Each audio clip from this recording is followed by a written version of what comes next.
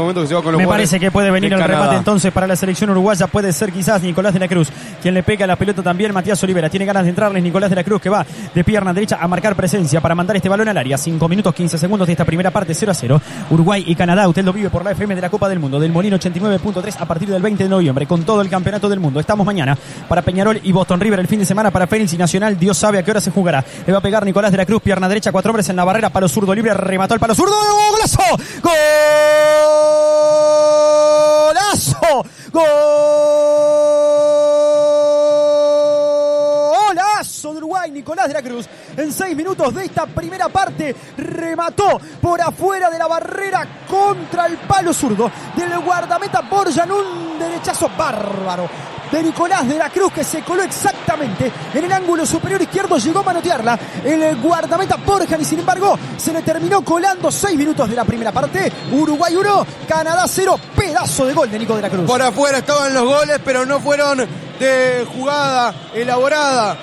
Sin embargo, Canovio se metió en diagonal. Miller le cometió una falta al borde del área y el otro extremo que propone hoy el equipo de Diego Alonso termina convirtiendo el gol de tiro libre. Una comba por afuera de la barrera. Nada que hacer para Borjan.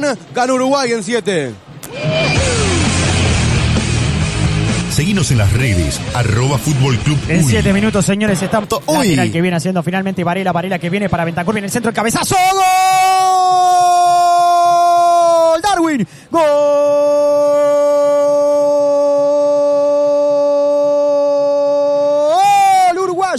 Darwin Núñez, el centro, que vino de zona derecha y apareció en el punto penal Darwin Núñez para de golpe de cabeza colocarla con un testazo manso al poste zurdo del guardameta Borjan en el 34 minutos de esta primera parte. Centro de Suárez, golpe de cabeza de Darwin, amplia ventaja la celeste. Uruguay 2, Canadá 0. Que sea el primero de varios para Darwin Núñez. Y dos que mucho tienen que ver con Anfield Road. Decíamos, un histórico del Liverpool, Luis Suárez, colocando centro preciso, un centro a la cabeza. Claro que pueden jugar juntos y son dos jugadores de muchísima calidad.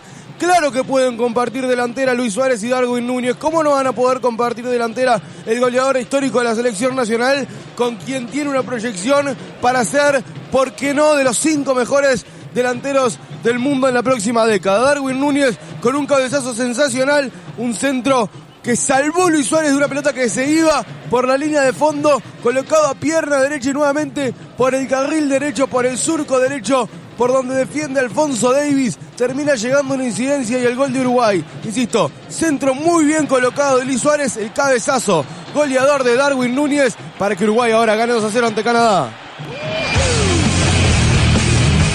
Seguinos en las redes, arroba Fútbol Club quedando